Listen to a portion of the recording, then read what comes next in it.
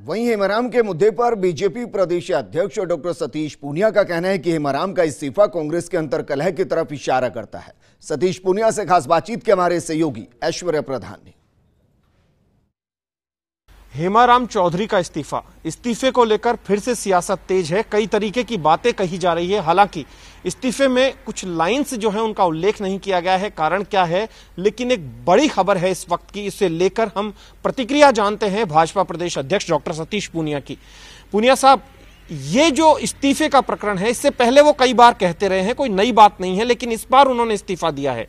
किस तरीके से देखते हैं? क्योंकि आरोप आप पर पिछली बार तो काफ़ी सारे लगे थे इस बार तो उन्होंने इस्तीफा दिया देखिए वैसे पहले तो सीधे तौर पर ये कांग्रेस की अपनी ही अंदरूनी सियासत है।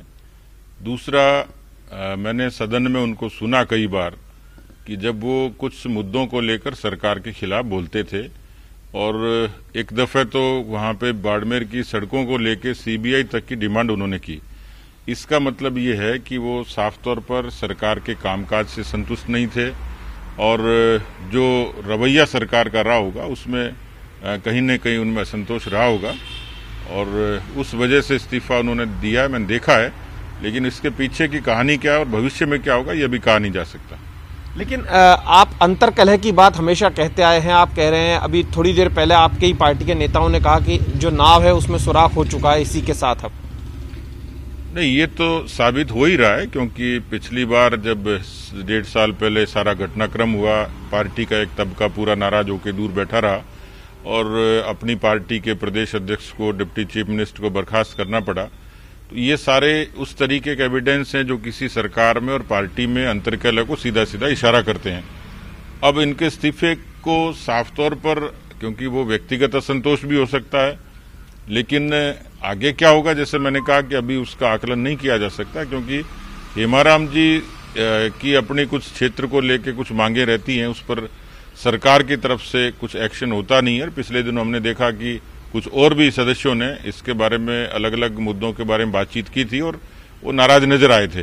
तो उसी नाराज़गी का शायद नतीजा है कि व्यक्तिगत तौर पर वो वो संतुष्ट नहीं है। यहाँ पर आपने कहा व्यक्तिगत तौर पर संतुष्ट नहीं है। इसी के साथ एक बड़ी बात यह है कि कांग्रेस टूल किट का मुद्दा है, जिसे लेकर आपने बयान भी दिया था थोड़ी देर पहले। ये जो मुद्दा है, इसे लेकर भारतीय जनता पार्टी, क्योंकि इस वक्त लोगों को जो ज़रूरत है, वो कोरोना में एक दूसरे की मदद करने की है।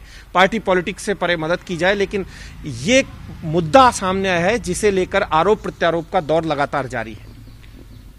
देखिए, बात सही है, कोरोना का संकट है और इस संकट से सबको मिलजुल कर ही लड़ना था।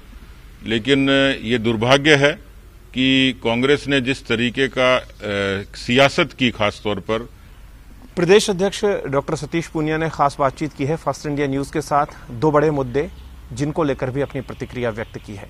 कैमरा पर्सन इकबाल के साथ Aishwarya Pradhan, first India news, Jaipur.